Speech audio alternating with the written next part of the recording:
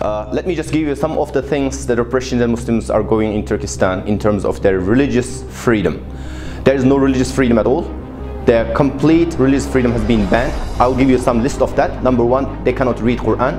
Uh, the Quran, all the religious books have been destroyed. Uh, they cannot pray. They cannot attend the mosque.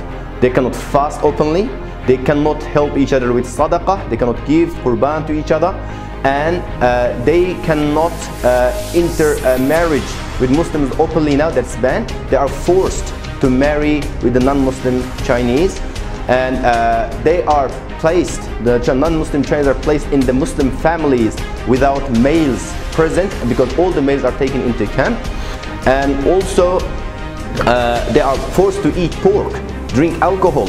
If you are running business, you are not allowed to use any symbol of halal logo.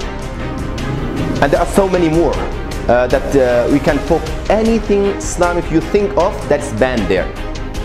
Thank you.